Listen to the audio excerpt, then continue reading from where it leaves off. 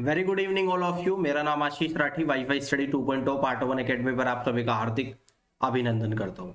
साथियों, आज के सेशन में कुछ मैं प्रॉफिट एंड लॉस के वो क्वेश्चंस कराने वाला हूँ, जो आपके आरआरबी एनटीपीसी सीबीटी वन के एग्ज़ाम में पूछे गए सवाल है।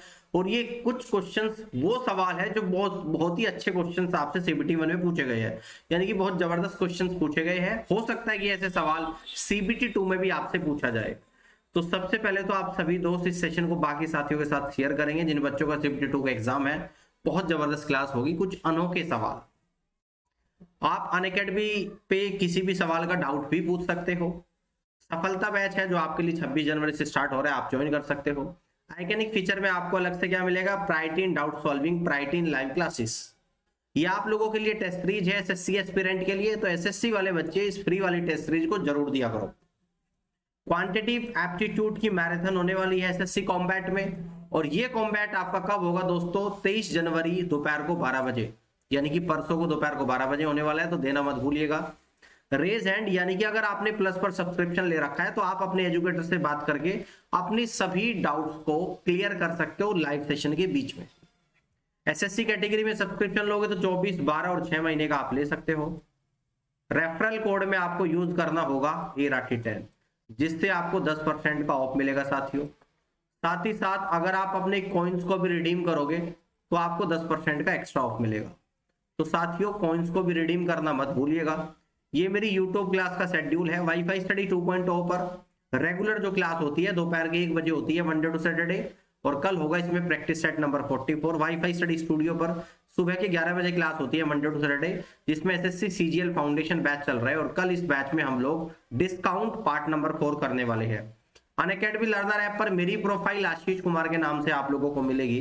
स्पेशल क्लास हमारी जो होती है वो तीन बजे होती है। तो कल आपको तीन बजे स्पेशल क्लास भी ज्वाइन करनी है। Maths by Ashish sir underscore Unacademy पर सभी यूट्यूब क्लास की पीडीएफ आप लोगों को प्रोवाइड कराई जाएगी। अगर आपको पीडीएफ चाहिए तो आप इस Telegram channel maths by Ashish sir underscore Unacademy से जुड़ना मत भूलिएगा। साथियों तो जिन सवालों की मैं बात कर रहा था, कुछ क्वेश्चन है। पहला सवाल प्रॉफिट एंड लॉस का क्वेश्चन है। एक बार ध्यान से आप लोग इस सवाल को पढ़ो पहले। देखिएगा, इस क्वेश्चन में बहुत सारे बच्चों को बहुत ज़्यादा कंफ्यूजन होता है तो सारे कंफ्यूजन दूर हो जाएगा अगर इस सवाल को ध्यान से सीख लेंगे आप लोग। कह रहा है कि एक्स एक व्यक्ति है जिसका नाम एक्स दे रखा है, ठीक है ना? एक कार को डेढ़ लाख रुपए में खरीदता है, फिर वैसे वाई दूसरा व्यक्ति है वाई उसको पाँच परसेंट के लाभ पर बेच देता है। उसके बाद वाई ने बाद में इसे दो परसेंट की हानि पर एक्स को बेच दिया। वाई ने फिर से एक्स को बेच दिया दो परसेंट के लॉस पर। तो पूरे लेन देन में एक्स के लिए समग्र लाभ या हानि आप लोगों को बतानी है। यानी कि इस पूरी कहानी में एक्स को प्रॉफिट हुआ या लॉस हुआ और कितना हुआ, यह आप लोगों को बताना है। आप ध्यान से समझिएगा, कोई व्यक्ति यहाँ पर लिख देता हूँ एक्स है और यहाँ पर कोई व्यक्ति वाई है। अब हमने ये माना कि सौ रुपए की कोई गाड़ी है, सौ रुपए की कोई वस्तु है, ठीक है ना? यानी कि कोई वस्तु है सौ रुपए की, जिसको एक्स वाई को बेचता है पाँच परसेंट प्रॉफिट के साथ। तो यानी कि वाई को कितने में बेचेगा? 105 में 105 में बेचेगा। क्लियर है? फिर उसके बाद क्या करता है? वाई इस वस्तु को एक्स को एक्स को बेच देता है और कितने में बेचता है? दो प्रतिशत के लॉस पर बेचता है। तो अब 105 का दो परसेंट आपको निकालना पड़ेगा, जो कि होगा 2.10 जो कि कितना होगा बेटा? 2.10 यानी कि अब एक कोई वस्तु कितने की पड़ी है भाई? 105 में से 2.10 माइनस करेंगे तो ए को जो वस्तु पड़ेगी 102.90 की 102.9 की पड़ेगी। तो अब आपसे पूछता है कि एक को कितना प्रॉफिट हुआ, कितना लॉस लॉस हुआ। देखो ए को पहले वाले केस में सौ की वस्तु एक सौ पाँच में बेच रहा है तो यहाँ पर ए को पाँच का प्रॉफिट हुआ। बाद में समझना है? यानी कि ओवरऑल प्रॉफिट एंड लॉस और एक्स की मैं बात कर रहा हूँ। पहले तो सौ की वस्तु ए एक्स जो है वाई को 105 में बेच रहा है तो प्लस पाँच का प्रॉफिट हो रहा है। ठीक है ना? अब उसके बाद देखो, उसके बाद x जो है, जो सौ रुपए की वस्तु थी। भाई, x के लिए तो सौ रुपए की थी वस्तु। अब x सौ रुपए की वस्तु को एक सौ पाँच में बेचता है, पाँच का प्रॉफिट होगा। और सौ रुपए की वस्तु को बाद में x कितने में खरीदता है? एक सौ दो पॉइंट नौ में खरीदता है। भाई, सौ की वस्तु के लिए अगर मैं एक सौ दो पॉइंट नौ रुपए पेमेंट करूँगा तो मेरा तो लॉस हुआ ना। जितना सौ से ऊपर दे रहा हूँ मैं, जितना भी सौ से ऊपर दे रहा हूँ, वो फालतू दे रहा हूँ मैं। तो यानी कि मुझे यहाँ पर लॉस कितना हुआ? टू पॉइंट नाइन का। यानी कि ओवरऑल मुझे क्या हुआ? प्रॉफिट हुआ यानी कि प्लस का 2.1 ओवरऑल क्या हुआ? मुझे यहाँ पर प्रॉफिट हुआ। ठीक है ना? और देखो मैं, मैंने यहाँ पर जितना लॉस दिया था 2.10 तो यही आपका यहाँ पर ओवरऑल प्रॉफिट आ रहा है। तो यानी कि डायरेक्ट आप इस वैल्यू को भी ओवरऑल प्रॉफिट कह सकते हो एक्स का। समझ में आ गई बात? भाई जितना यहाँ पर लॉस होगा यानी कि 105 में से जितना भी कम होगा वही आपका लॉस होगा एक्स का। ऑल राइट है? अगर ये बात समझ में नहीं आई तो ये समझ लो, पहले एक्स को पाँच का प्रॉफिट फिर एक्स उसी वस्तु को 102.9 में खरीदता है तो 2.9 का लॉस ओवरऑल 2.1 का प्रॉफिट ऑल राइट आप देखो ध्यान से। अब आपको सवाल में दे रखा कि भाई, इस 100 यूनिट की वैल्यू तो हमने क्या ली थी? ये 100 यूनिट क्या है? डेढ़ लाख के बराबर। अगर इस 100 यूनिट की वैल्यू कितनी है बेटा आपकी? 100 यूनिट की वैल्यू देखो, यहाँ पर अगर 100 यूनिट की वैल्यू कितनी है? डेढ़ लाख।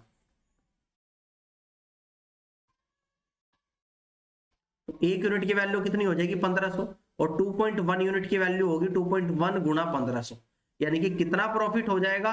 21 की 15 में गुणा करूँगा तो दो ज़ीरो तो जो की तो आ जाएगी आपकी। 15 एकम 15 एक बच जाएगा। 15 दूनी तीस और एक इकतीस। और एक अंक के बाद दशमलव यानी कि ओवरऑल जो होगा, वो क्या होगा? प्रॉफिट होगा। और कितने का प्रॉफिट हो जाएगा भाई साहब? इकतीस सौ पचास रुपए का एक्स को प्रॉफिट होगा। ये बात समझ में आई या नहीं आई? दोबारा से इस वीडियो को आप लोग देखोगे तो निश्चित तौर पर आपको क्लियरिटी होगी। इस तरीके के चार से पाँच क्वेश्चंस आपके सीबीटी वन में पूछे गए हैं अलग अलग शिफ्ट में। तो 100 परसेंट क्लियरिटी के साथ अगर आप जाओगे तो निश्चित तौर पर ऐसा सवाल कर पाओगे। अगला सवाल। इस सवाल को एक बार पढ़ लो आप इतमान से, क्योंकि आप जब तक सवाल पढ़ के ये नहीं समझोगे कि सवाल में पूछ रहा क्या है तो क्वेश्चन कर नहीं पाओगे ठीक है ना?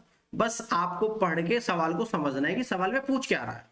सबसे बड़ी क्लियरिटी यही होती है कि अगर आप सवाल को समझ गए तो करना मुश्किल नहीं होता है लेकिन सवाल समझना मुश्किल होता है। जैसे कि ये सवाल है कि किसी वस्तु को एक निश्चित मूल्य पर बेचने पर लाभ प्रतिशत कितना होगा? लाभ प्रतिशत कितना होगा? अगर किसी निश्चित मूल्य पर मैं बेच दू, यदि वस्तु को उस विक्रय मूल्य के आधे पर बेचने पर साढ़े बारह परसेंट की हानि होती है। तो साढ़े बारह परसेंट की फ्रैक्शन वैल्यू अगर आपसे पूछू तो आप कहोगे सर एक बटे आठ। अगर हानि हो रही है, हानि हो या प्रॉफिट हो, हमेशा कॉस्ट प्राइस पर होता है, यानी कि आठ की वस्तु को सात पर बेचा जा रहा आप देखो, ध्यान से समझिएगा कॉस्ट प्राइस है, ठीक है ना? यहाँ पर आएगा आपका इनिशियल सेलिंग प्राइस यहाँ पर आएगा आपका फाइनल सेलिंग प्राइस ठीक है ना? सवाल में कह रहा है कि किसी वस्तु को एक निश्चित मूल्य पर बेचने पर, किसी वस्तु को एक निश्चित मूल्य पर बेचने पर प्रॉफिट होता है। अगर जिस निश्चित मूल्य पर, अगर जो निश्चित मूल्य है उसके आधे पर बेचे तो साढ़े बारह परसेंट का लॉस होता है। यानी कि यहाँ पर कोई निश्चित मूल्य रहा होगा। अगर इसके आधे पर बेचूँगा तो साढ़े बारह परसेंट का लॉस साढ़े बारह परसेंट लॉस का मतलब आठ की वस्तु को सात पर बेचा जा रहा है। यानी कि यहाँ पर आठ कोस्ट प्राइस है और इसको सात पर बेचा जा रहा है। कम पर बेचा जा रहा है। और जो ये सात है ना, ये जो एक निश्चित मूल्य है, उसकी आधी वैल्यू है। तो यानी कि जो इनिशियल सेलिंग प्राइस रहा होगा, वो इसका डबल होगा भाई सात का चौदह। अब देखो, ध्यान से सारी रेशियो बन गई आपके। अब देखो, एक इनिशियल इनिशियल सेलिंग प्राइस हमने चौदह माना। चौदह का आधा, सात पर बेचूँगा और सात पर बेचने पर साढ़े बारह परसेंट का लॉस और साढ़े बारह परसेंट लॉस किस पर होता है? कॉस्ट प्राइस पर, यानी कि आठ की वस्तु को सात पर बेचा जा रहा। है कंप्लीट रेशो निकल कर आ गया, खत्म हो चुका सवाल। अब कह रहे हैं कि जब निश्चित मूल्य पर हम बेच रहे थे तो कितने का प्रॉफिट हो रहा था? तो देखो, आठ की वस्तु को चौदह पर बेचा जा रहा था तो छह का प्रॉफिट था। किस पर था? आठ का। तो यहाँ से हम लोग प्रॉफिट परसेंटेज निकालेंगे और गुणा सो। दो से तीन बार जाएगा, दो से आपका चार बार जाएगा, और चार से आपका पच्चीस बार जाएगा। यानी कि ओवरऑल कितने परसेंट का प्रॉफिट होगा निश्चित मूल्य पर बेचने पर? 75 प्रतिशत का। ये भी बहुत अच्छा सवाल जो आपके सीबीटी वन में पूछा गया है, इसलिए मैंने आपको कराया भी है क्वेश्चन ठीक है ना? उम्मीद कर दो कि क्लियर हो गया हो गया सवाल, इसमें भी कोई आपको डाउट नहीं होगा। एक सवाल और है, उसको भी देख लेते हैं। देखो, इस तरीके के भी दो तीन क्वेश्चंस आपके एग्ज़ाम में आए हैं, और ये सवाल भी आपको तकलीफ़ दे सकता है एग्ज़ाम में, इसलिए मैं इसको भी आप लोगों को अलग से करा रहा हूँ। ये तीनों ही कुछ डिफरेंट टाइप के क्वेश्चन थे, जो आपको परेशान कर सकते हैं। आप फंस सकते हो इन क्वेश्चन में। तो इस सवाल को भी एक बार आप ध्यान से पढ़ लीजिएगा, फिर मैं आपको बताता हूँ।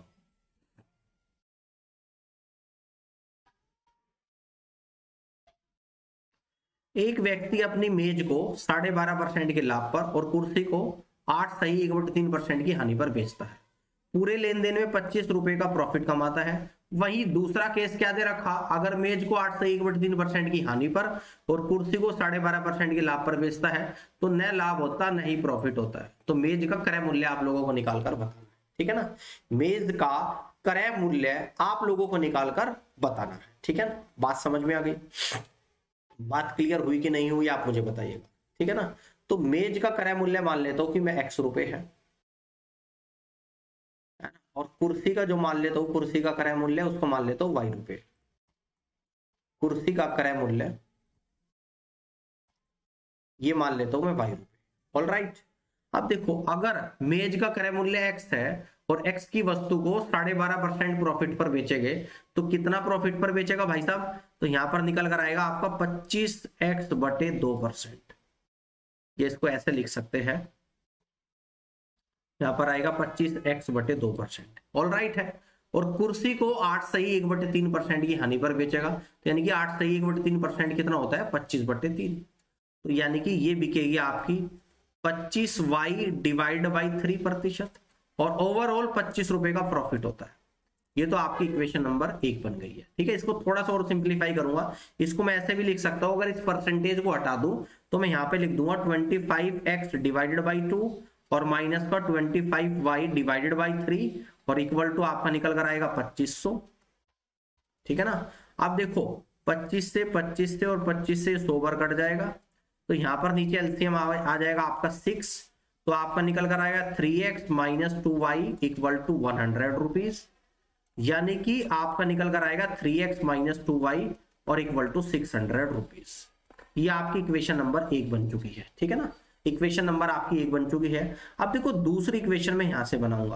अब कह रहा है कि अगर दूसरे वाले केस में, अगर मेज को आठ से एक बटे तीन परसेंट की हानि पर बेचे, मेज क्या है आपकी एक्स यानी कि पच्चीस एक्स बटे तीन परसेंट। इसके लॉस पर बेचे, यानी कि माइनस लगा दूँगा। प्रॉफिट पर बेचे कुर्सी को। कुर्सी को अगर प्रॉफिट पर बेचे तो यह आएगा आपका साढ़े बारह परसेंट तो आएगा आपका पच्चीस Y divided by two percentage तो इस केस में नो प्रॉफिट नो लॉस होता है।